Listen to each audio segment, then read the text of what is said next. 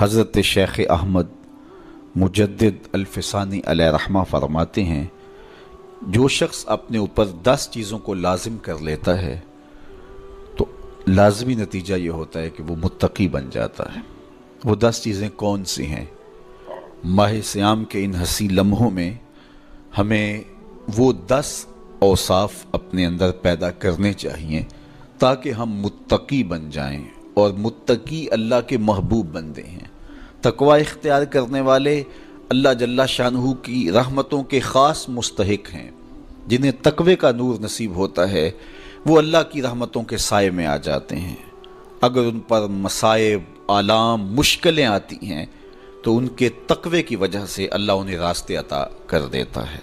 वह मैत्ता किल्ला यज अल्लहू मखरजा, व यरजुक मिन हैसुला यह तसिब अल्लाह अकबर, इरशाद फरमाया कि जो अल्लाह से डरता है, तकवा इख्तियार करता है, उसके लिए हम मुसीबत से निकलने के रास्ते पैदा कर देते हैं। और अल्लाह जल्ला शाह उसके लिए वहाँ से रिस्क अता करता है, जहाँ से उसे गुमान भी नहीं होता है। तो ये तकवे का नतीजा है, जो अहले तकवा को नसीब होता है। तो हज़रत शेख ने दस वो उमूर बताए जो अपने ऊपर लाजिम कर लेने से तकवा नसीब होता है। सबसे पहली बात, आप फरमाते हैं, ज़ुबान को गीबत से बचाए। इत्तिका के हसूल के लिए ज़ुबान को पाक करना ज़रूरी है। इंसान के ज़्यादातर गुना उसकी ज़ुबान की वजह से हैं। और गीबत ये बदतरीन अमल है।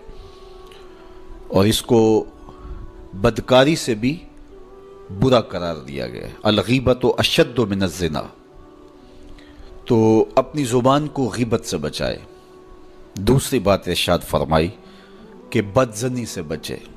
किसी से खाम खा बदगुमान हो जाना और अपने दिल को किसी के लिए मैला कर लेना और उसकी बदगुमानी दिल में पालना तो ये तकवे के मुनाफी है।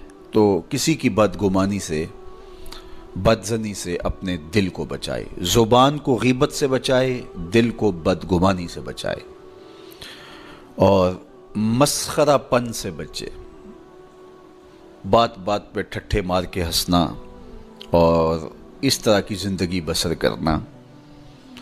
और आजकल तो जब भी दोस्त अहबाब इकट्ठे बैठते हैं तो संजीदा और मतीन बातें कम होती हैं, ज़्यादा वक्त लतीफ़ों में ही कट जाता है। इंसान को खुश मिजाज होना चाहिए। उसकी तबा में शगुफ्तगी होनी चाहिए। लेकिन शगुफ्तगी, खुश मिजाजी और मस्खरापन में फ़र्क है, इसको समझना चाहिए।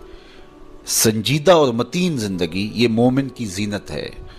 इंसानियत का हुस्न है। इसलिए तकवे के हसूल में माने है मस्खरापन। अगर कोई शख्स मुत्तकी बनना चाहता है तो उसको संजीदा और मतीन बनना होगा। तबीयत की खुश मिजाजी ये माने नहीं है, लेकिन मस्खरापन और चीज़ है, उससे रोक दिया गया। चौथी चीज़ हज़रत शेख अहमद फरमाते हैं कि अपनी आँख को हराम से बचाए। अपनी आँख की हिफाजत करने से तकवा हासिल होता है। जब आँख ख़राब होती है तो दिल ख़राब होता है। जब दिल ख़राब होता है तो फिर पूरा बदन ख़राब हो जाता है। इसलिए वो दरवाज़ा जो खुला है और उससे बदी शर अंदर उतर रही है और फिर उससे आपका सारा नज़म हस्ती बर्बाद हो रहा है तो उस दरवाज़े को बंद करें। तो अपनी आँख को हराम से बंद करें। पांचवी चीज़ इर्शाद फरमाई, हमेशा सच बोले। झूठा शख्स कभी मुत्तकी नहीं हो सकता।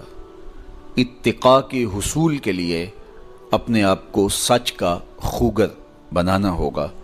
सच के बगैर कभी ना बोलें। झूठ बोलने वाले की ज़ुबान से शर फैलता है। और जब कोई शख्स झूठ बोलता है तो हदीस से पाक में आता है, उससे बदबू निकलती है। जिसको आम लोग तो नहीं सूंघ पाते, लेकिन अल्लाह के फरिश्ते एक मील दूर पीछे हट जाते हैं। तो मोमिन सच्चा होता है, मोमिन झूठा नहीं होता। और तकवे के असूल के लिए सच शर्त है। छठी चीज़ इरशाद फरमाई, हर हाल में अल्लाह का एहसान माने। जब कोई भी इंसान पर बेहतरी आए तो उस वक्त ये कहे कि ये मेरे रब का एहसान है कि मुझे ये हासिल हुआ है। बहुत सारे लोग अपनी मेहनत का नतीजा करार देते हैं कि ये मैंने किया तो उसके नतीजे में ये मिला। बसा औकात आप कितना सीधा काम कर रहे होते हैं, कितनी मेहनत कर रहे होते हैं, लेकिन नतीजा उसके बरक्स आ रहा होता है। सैयद नालीमरतज़ा रदी अल्लाह तु फरमाते हैं, मैंने अल्लाह को अपने इरादों की शिकस्त से पहचाना। तो ये, उसकी करम नवाजी है कि उसने ऐसा कर दिया। सेहत मेरा कमाल नहीं, ये अल्लाह की अता है। इल्म मेरा कमाल नहीं, ये अल्लाह की अता है। लहजों की खूबसूरती ये उसकी अता से मुमकिन है। उसने आँखों में रोशनाई रखी, उसने तोहफी के अमल नसीब फरमा दी। उसने अच्छाई की राहों पे गामजन किया। माह श्याम में रोज़ा रखने की तोफ़ीक हुई। सलात तरावी में हाज़िरी का मौका मैसर आया। दीगर साल आमाल तिलावत कलाम मजीद नसीब हुए। तो मत समझे कि ये कोई मेरा कमाल है। अल्लाह का एहसान मानेगा तो गुरूर पैदा नहीं होगा तकबर पैदा नहीं होगा। तो हर हाल में अल्लाह का एहसान माने। जो भी खैर उसको मिले, वो कहे, ये मेरे रब की तरफ़ से है। और अगर उसका कर्म ना होता तो ये अमल मुझे नसीब ना होता। और कितने अमल हैं कि नसीब होने के बाद उजब से तकबर से, रियाकारी से बर्बाद हो जाते हैं। कीती, कतरी, पई खू मोहम्मद सिक्का बनया, जरदा। कितने अमल हैं कि बर्बाद हो जाते हैं। तकबर आ गया, उजब आ गया, रियाकारी आ गई। तो ये उसकी तरफ़ से ही है। तो जब ये कहेगा तो उजब तकबर गुरूर कुछ पैदा नहीं होगा तो फिर अमल कबूल होगा और इंसान तकवे की मंजिल तक पहुंचेगा। सातवीं चीज़, अपना माल राह हक में खर्च करे। ना हक रास्ते पर एक दिरहम भी खर्च ना करे।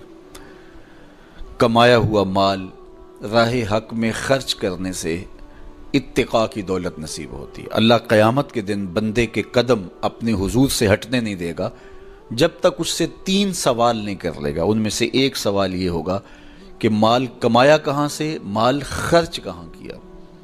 जिस तरह माल हलाल कमाना ज़रूरी है, माल को जायज़ जगहों पे खर्च करना भी ज़रूरी, हक के रास्ते पे खर्च करना भी ज़रूरी।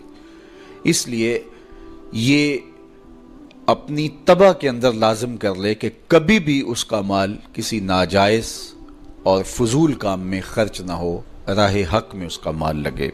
आठवीं चीज़, नफ्स के लिए कभी बड़ाई बुलंदी ना चाहे, इससे तबीयत में सरकशी आएगी और तकवे के रास्ते में ये अमल माने है और नमाज़ों की हिफाजत करे।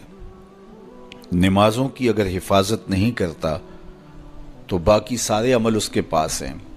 तो वो मुत्तकी कैसे बन सकता है? क्योंकि ये तो इस्लाम का बुनियादी फरीज़ा है जो अहले ईमान पर लाजिम किया गया है, जो किसी सूरत के अंदर भी, हत्या के हालत, बीमारी के अंदर भी माफ़ी जिसकी नहीं है, सफ़र के अंदर भी नमाज़ की माफ़ी नहीं, मुख्तसर कर दी गई, कसर कर दी गई, लेकिन माफ़ी नहीं दी गई। हालत जंग के अंदर भी इसकी माफ़ी नहीं है।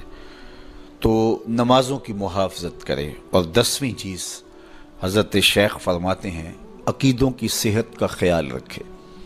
अपने अकीदे अपने नज़रियात खूबसूरत रखें।